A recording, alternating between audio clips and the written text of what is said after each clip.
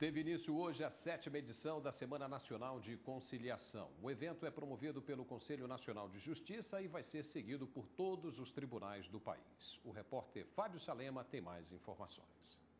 Estimular o diálogo e, com isso, buscar o acordo entre as partes. Esse vai ser o objetivo dos tribunais estaduais, federais e do trabalho a partir de hoje até o dia 14 de novembro.